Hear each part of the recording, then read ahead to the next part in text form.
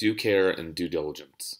So due care means you're basically you're doing what a reasonable person would do, um, and another name for it is the prudent man rule. Um, so essentially, it means um, like you know, there's ridiculous examples, but like don't use your computer mouse as a hammer, right? Like that uh, would be violating due care, or you know, don't let the the hacker, the black hat hacker, borrow your password, um, which is maybe set to one three four five or a password or something ridiculous like that. So that's basically due care. Due care means don't be ridiculous. Um, and um, due diligence is like a step up from due care.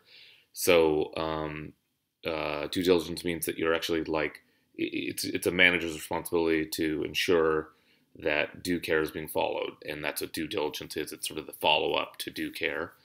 Um, so uh, uh, you know, an example of that would be like making your employees understand that uh, the access card is their responsibility, the one to get them in the building, and that they have to have it to them, have to have it on them at all times, um, or that uh, you know you shouldn't set your password to one two three four five. Um, I think following up on letting acceptable use policy, I believe, is due diligence. Um, so uh, that is due care and due diligence.